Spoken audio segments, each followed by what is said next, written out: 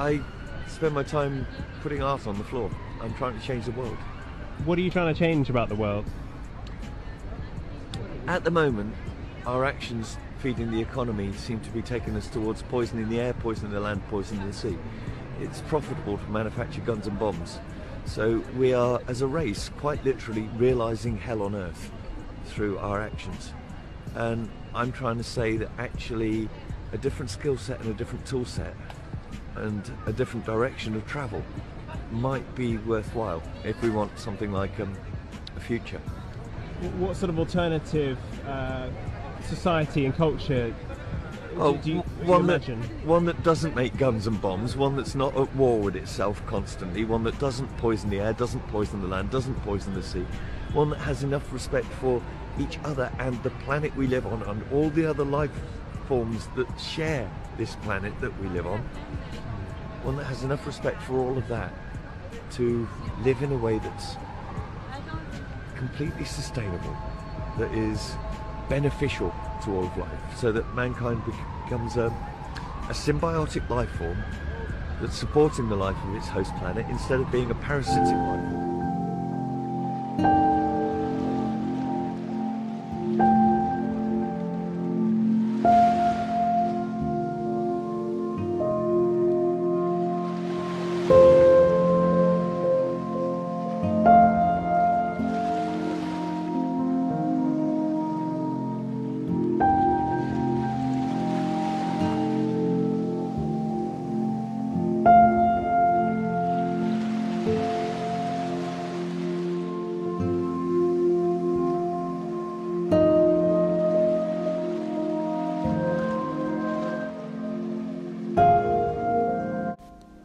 All right, Shalom. This is the brother Nahoya from the GMS Orlando camp. I want to start off by giving all praise, honor, and glory to Yahweh, by Hashem, Yahushai, by Hashem, Ruach HaKodesh. The honors to the apostles and the elders of Great Millstone, who are the elders of Yasharahla, and the sincere salutation to all you Akim, who are preaching this word and believing this word in all truth and in sincerity. This is Proverbs chapter 29 and verse 2. And it reads, When the righteous are in authority, the people rejoice. But when the wicked beareth rule, the people mourn. All right, through the Spirit, I want to go into a lesson based on the clip you just saw in the video before this lesson began.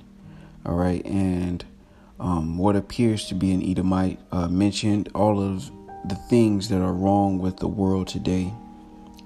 All right, and these things, uh, these issues that are uh, plaguing the world today, all right, are in effect because of who is in rulership and dominion, all right, and that is a um, unpopular fact among the world. Um, who's in rulership as a nation of people, all right, because when you look at who's in rulership, or when you look at the way the world is ran, all right, it has to be uh, attributed to who's in rulership, who has dominion on the earth. All right, this is Job chapter 9, and I'm going to start down at 24 and it reads, The earth is given into the hand of the wicked. He covereth the faces of the judges thereof. If not, where and who is he? All right, and that is the reason that you have uh, polluted water, um, GMO foods, all right, just to name a few things, um, wars, um, all of these things plague the world due to who's in rulership, all right, and because of who's in rulership. All right, the the world and the way the world thinks and looks at things. All right, it's a direct correlation to who's in, in dominion.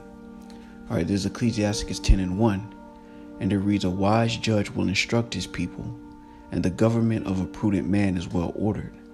As the judge of the people is himself, so are his officers.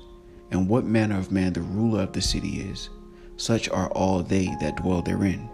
All right, and what you notice in these times, uh, most importantly, is a mindset of greed, um, a mindset of vanity. All right, and this is in direct correlation to who has dominion on the earth. All right, and that is why uh, the Lord has a an agenda. All right, to place Yahweh Shai, who they ignorantly call Jesus, and establish His kingdom in the earth. All right, so, the, so that the world can be introduced to rulership and equity and righteousness, something that hasn't been seen on the planet. All right, and because of that, through the Spirit and power of Yahweh Shai, the world is in a condition that it's in as the Lord translates power from one nation of people to the other, beginning with Yahweh Shai. All right, this is Ecclesiasticus 10, and I'll jump down to uh, verse 4, and it reads, The power of the earth is in the hand of Yahweh Shai, and in due time he will set over it one that is profitable. All right, and through the Spirit and power of Yahweh Shai, the world is in um, disarray, all right, because one that is not profitable, all right, has dominion in the earth, all right, and through the spirit and power of Yahweh Shai, we understand that the Lord is translating power from one nation of people to the other, and I'll get that um, in verse 8, all right, and it reads, because of unrighteous dealings, injuries, and riches got by deceit, the kingdom is translated from one people to another and all of the things that this guy, uh, this gentleman mentioned, all right, is a product of who has dominion. All right, and I thought that it was uh, very ironic that um, the same people who are in rulership are now trying to fix a problem that they have caused over centuries. All right, and um, that's why the Lord is done with the time of the hypocrite. All right, we're in the time where the Lord is beginning to bring down a kingdom uh, because of these unrighteous dealings, these riches gotten by deceit. All right, uh, the the wickedness and everything that has multiplied on the earth since the dominion began, beginning with Alexander the the Great or Alexander the Greek, as he is named.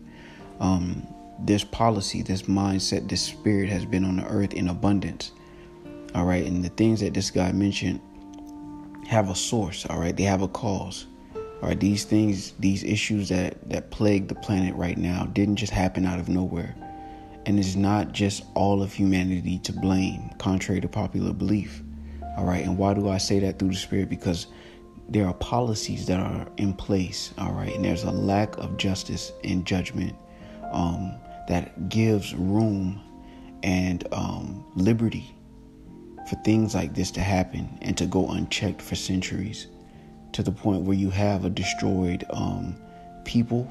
All right, you have uh, GMO foods, you have contaminated water, um, chemtrails, all of these different things, um, uh, uh, 5G, and, and, these different uh, electronic, electric grids and networks that destroy nature. All right, the destruct, the deforestation, all of these things have a cause. These things don't randomly happen all right these things are able to happen because there is a policy and there's a rulership that gives license to these type of activities. And while this guy mentions trying to save the world and you know saving the future uh, what has to be known and understood is that these things can only be rectified these things can only be rectified all right through a transition of power.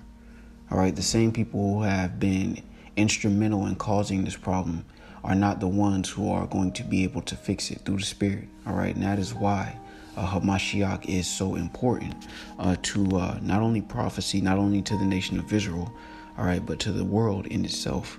All right, because uh, the one that the Lord is going to set up that is profitable is the one that they ignorantly call uh, Jesus. All right. Now let me get this in Psalm 72. All right, it's Psalm 72 and 1, and it reads, Give the king thy judgments, O Yahweh Shai, and thy righteousness unto the king's son. He shall judge the people with righteousness, and thy poor with judgment. The mountains shall bring peace to the people, and the little hills by righteousness. He shall judge the poor of the people, he shall save the children of the needy, and shall break in pieces the oppressor. They shall fear thee as long as the sun and moon endure throughout all generations. He shall come down like rain upon the mown grass, as showers that water the earth. In his day shall the righteous flourish, and abundance of peace so long as the moon endureth. He shall, he shall have dominion also from sea to sea, and from the river unto the ends of the earth. They that dwell in the wilderness shall bow before him, and his enemies shall lick the dust. The kings of Tarshish and of the isles shall bring presents. The kings of Sheba and Seba shall offer gifts. Yea, all kings shall fall down before him, all nations shall serve him. For he shall deliver the needy when he crieth, the poor also, and him that hath no helper. He shall spare the poor and needy, and shall save the souls of the needy. He shall redeem their soul from deceit and violence.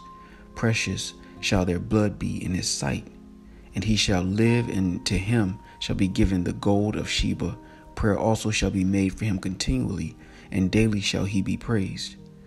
All right, and this is the one that they call um, Jesus. All right, this is Hamashiach Yahweh All right, he shall have dominion from sea to sea and uh, peace shall be in abundance as long as the moon endureth under his rulership.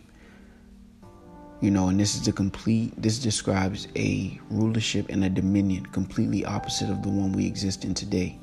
All right, and that is a revelation to Yahweh Shai's um, power. All right, that he could set up over the world the bases of men, which is Esau, Edom, and then put him down and place up one that is profitable, which is Hamashiach, and uh, the nation of Israel as joint heirs. All right, and that's uh, when you understand this, you understand how big the picture is uh, through the Spirit. Um, that this isn't just about the nation of Israel having dominion, um, but it is about the world being placed in good hands, so to speak, through the Spirit, and that begins with Hamashiach. All right, who uh, who will have the dominion, and all kings will bow before him and serve him all right, and he will judge the world with equity. And through that rulership, through that dominion, the world will know uh, peace. All right, like it says in Proverbs, the 29th chapter, when the righteous are in authority, the people rejoice. All right, and the world is uh, literally fighting against their own well being by fighting against this truth. All right, they're fighting against um, a world where their water isn't contaminated, uh, where their food isn't contaminated, all right, where their children aren't born into a world where uh, corruption and uh, deceit and vanity are the things that are honored and the things that are uh, are valued, true value, truly valued, like integrity, um, uprightness, are shunned and looked down upon and devalued. All right, things are going to be turned right side up. And everything that this man complained about, and maybe he was an Edomite, maybe not, but everything that he complained about, and many other people complain about these things as well, um, these things are products. All right, they're fruits of a dominion on the earth. And there's no other way to say that. There's no other way to sugarcoat that. All right, contrary to what this world gives you. All right, it's because of the uh, oil. Um, it's because of the gas, uh, the the cars that emit the gas that cause the global warming It's because of these, you know, the oil rigs. All of these things come through policies, and these policies are made by the people who have the power to do so. All right, that's why in uh, Job 9th chapter, the 24th verse, it says, The earth was given into the hand of the wicked. And you can tell that they are the wicked um, by the fruits, all right, by the world that we exist in under their dominion, all right and through the Spirit. That's why this is good news, even for the heathen nations outside of Esau, Edom, which is the so called white man. This is good news. You will be ruled over with a rod of iron, but this rulership that is to come will be far greater than the one that you exist in today. And the things that you complain about will be a thing of the past in the kingdom of heaven. All right.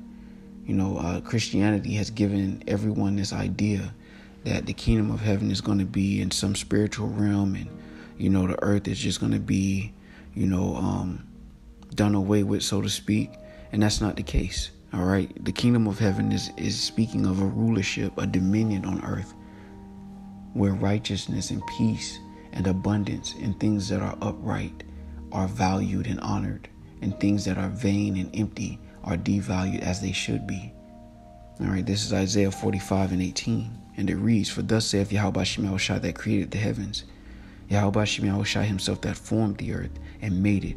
He hath established it, he created it not in vain. He formed it to be inhabited. I am Yahweh Shai, and there is none else. And for that reason, Hamashiach is going to come and have dominion in this earth. All right, that the world may be inhabited, that the Lord's creation may not be used for vanity, used in vain, but inhabited and enjoyed properly under righteous rulership and judgment. All right, so Lord willing, this was edifying. With that, I want to give all praise, honor, and glory to Yahweh, Ba'ashem, Yahweh Shai, Ba'ashem, Ruach HaKodesh, the honors to the apostles and the elders of Great Millstone, who are the elders of Yasharahla, and a sincere salutation to all you Akim, who are preaching this word and believing this word in all truth and in sincerity. Shalom.